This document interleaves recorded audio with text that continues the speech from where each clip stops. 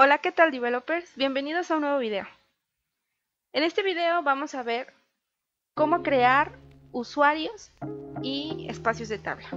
Ok, bueno, los espacios de tabla o table space permiten agrupar lógicamente los data files o archivos de datos donde se almacenan físicamente los datos de las tablas de usuarios y del sistema.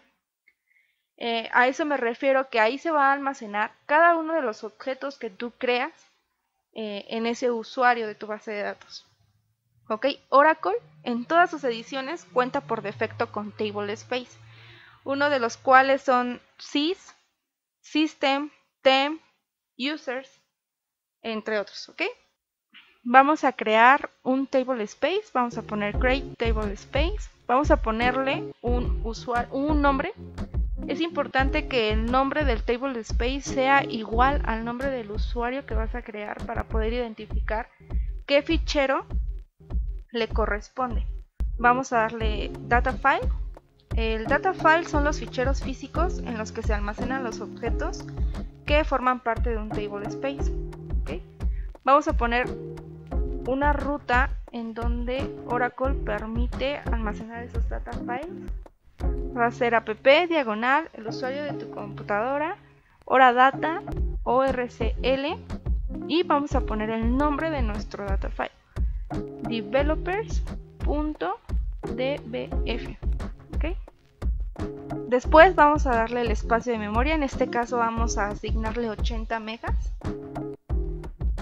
Punto y coma, es importante poner el punto y coma. Y nos dice table space creado. Bueno, ahora vamos a crear el usuario de base de datos. Vamos a poner Create User Developer Studio. Se llama igual a nuestro Table Space. Identify by y una contraseña. Es importante que la recuerden porque es con la cual se van a poder conectar a esa base de datos. Después vamos a asignar el table space por default que va a tomar ese usuario. Vamos a escribir default table space, developers studio que es el que creamos. Ok, vamos a escribir temporary table space. En este caso vamos a tomar un table space que Oracle tiene por default. Eh, va a ser temp y después vamos a escribir for unlimited on developers studio que es una cuota. Es la cantidad de espacio asignado a un usuario en un table space.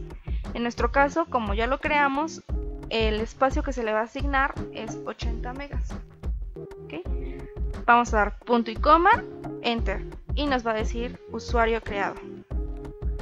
Después vamos a darle permisos al usuario para que se puedan conectar a él vamos a escribir grant connect, coma, resource to developers studio, punto y coma, y nos va a decir que el permiso fue creado exitosamente.